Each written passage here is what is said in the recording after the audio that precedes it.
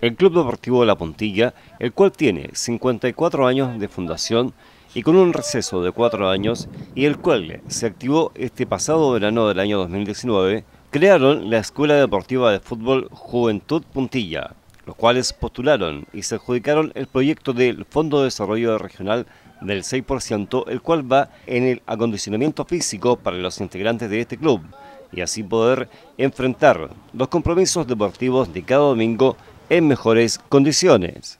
Y por eso este proyecto es tan importante para nosotros porque comenzamos, siento que comenzamos con tanto apoyo y con todas las pilas para, para lograr esto, que los chicos se motivaran y bueno, que ahora están en un tremendo estado físico y en la cancha ni decirle cómo están. Bueno, este proyecto es netamente para que los chicos se entrenen dos veces a la semana, tres a veces, y para que estén en buen estado físico, para que no lleguen eh, en malas condiciones a jugar los domingos. Tienen, eh, tienen un día para prepararse físicamente y otro día es netamente puro fútbol para el domingo. Bueno, durante la semana es muy difícil entrenar por temas laborales. Eh, la mayoría de los jugadores que están acá salen súper tarde del trabajo y contratar algún gimnasio es muy complicado por temas de lucas, por temas de tiempo. Muchas veces se dejan estar y llega el domingo, van a jugar y muchas veces se lesionan, tienen problemas. Entonces, el estar entrenando acá igual es algo beneficioso para todos. ¿Qué entrenamos miércoles y viernes miércoles de 7 a 9, en donde hacemos una parte física y luego una parte de fútbol.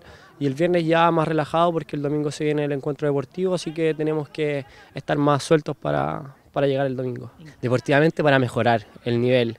Ya el domingo uno no llega tan, tan cansado, uno ya llega más, más prendido, como en la semana uno toca la pelota, es totalmente distinto a que si uno no hiciera nada en la semana y llegar el domingo a jugar de la nada. Así que personalmente me ha beneficiado mucho en el tema físico, para mejorar la condición física, futbolísticamente igual, así que ha muy bueno. La iniciativa de ellos, que no sé, pues hay varios niños que han llegado y les ha gustado el club porque sale mucha familia. Esperando que llegara luego el furgón, para subirlos luego y a disfrutar la, la tarde deportiva. Sobre todo uno que no, no, puede entrar a la cancha a jugar como era antes. Más de... Pero algo debe quedar. Sí, pero ya no. Ah, ya no, no queda nada. no, igual queda, pero la garra no. Apoyar a las chiquillas, no, a todos los chiquillos. Sí, no, eso nunca se lo olvidará a uno.